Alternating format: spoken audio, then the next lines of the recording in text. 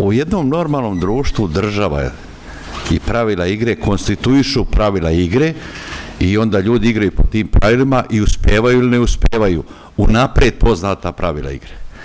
Mi, nažalost, živimo u društvu gde se pravila igre post festu menjaju. Ovde se dodaje lopta van out linije. Ovde se svira penal kad ga nema. Ovde država preraspodeljuje stvar. I sad da ne ulazim u detalje, evo recimo oko kursa. Vi prvo imate dvovalutni sistem gde su ljudi e, strašno vezani koliko je to evra, koliko je to evra, koliko je to evra, razumete? I on stalno priča koliko je to evra.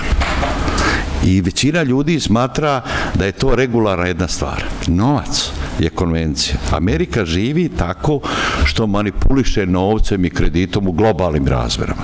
Mi to ne možemo da radimo, mi smo mala zemlja, mi, mi manipulišemo vršeći intersektorsku, i intertemporalnu i međugeneracijsku preraspodelu dohodka.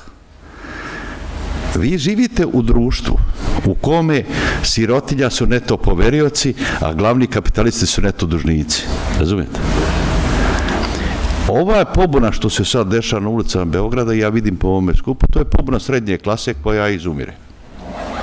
Srednje klase koja izumire. Ko ima štednju? Pa srednja klasa manje više. Kako tu štednju možemo oteti? To svaka vlast postoje pitanje. Milošević je otimo preko jezde da fine preko inflacije. Tako je kreirano onaj kapital. Na Kipru, razumete? Mi nismo narod koji je oteo drugi, razumete? Englezi su ti, oni otimaju, imaju brodove, pa potimaju od drugi. Mi samo otimamo se međusobno. Mi nismo nigde oteli od drugih. Mi smo napravili takav sistem i ovdje se preko kursa vrši e, e, intertemporalna preraspodela. Šta to znači? Ti imaš dijasporu i onaj tamo Milisav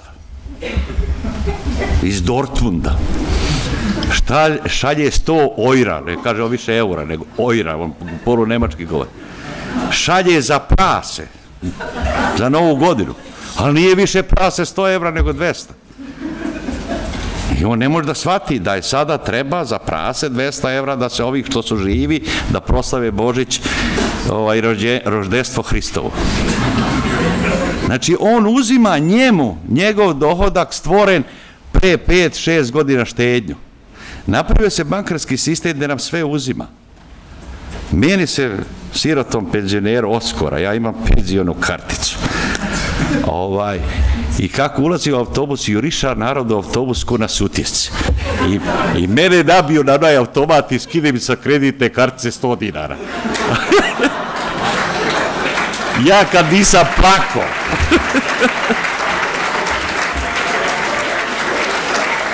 Sljedeća faza je da ti skine sa kartice ako se očešeš o banku s polja. Zašto? Ovde se ne da nama nikako da napravimo portfelj. Srednja klasa mora da ima portfelj sljedeće, da ima dohodak i imovinu. Šta može da ima od imovine? Možda ima kuću, pa prave vikendice, Hrvati popale, pa prave u Crnoj Gore, oni odra. Prave na rajcu, on opet ode. I imaju štednju. Ti moraš imati kombinaciju imovine i dohodka da bi bio srednja klasa. I moraš imati kombinaciju fiksne imovine, stabilne i prihodne imovine. To se nama ovde ne da.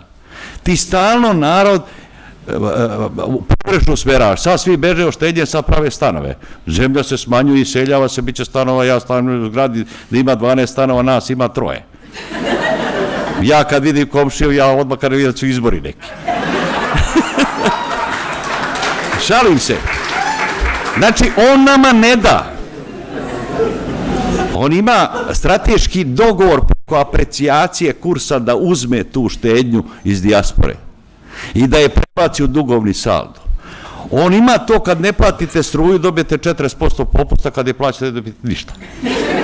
Ovo je dužničko društvo da jedna grupa samo kroz preraspodel. Nije se niko ovde obogatio što je smislio ovaj eh, eh, parnu mašinu ili Facebook ili bilo šta. Ovde se samo rente raspodelje. Ovde svaka nova vlast ima nove bogataše, batinaše i robijaše. To je to. I gledajte, on nama ne da, recimo meni, ne da, da ja kupim obveznice Telekoma za 6%, koliko se zadužuju oni. Ne, ja to ne mogu. Ja mogu da nosim novac u banku po 0%. Ovi kažu, budi sretan ako ne moraš doplaćivati. A onda oni pozajmljuju njima po 3%, 4%, 5%. Razumete? Drugi narodi to daju. Vi ne možete posjedovati akcije ovde, jer je sistem smišljen tako da isključuje pojedinca, moraš brokera, moraš dilera, on ti otmu na ulazu, na izlazu i ti samo, samo plačeš. Znači, ovde se ne može formirati portfolio pojedinca, preduzeća i države. Ljudi imaju imovino sirotiljacu.